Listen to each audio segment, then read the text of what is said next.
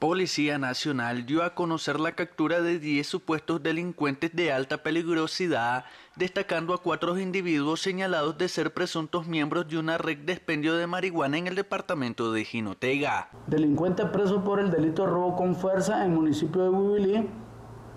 Tenemos a Luis Antonio Castellón Sile, evidencia ocupada del delincuente, dinero en efectivo.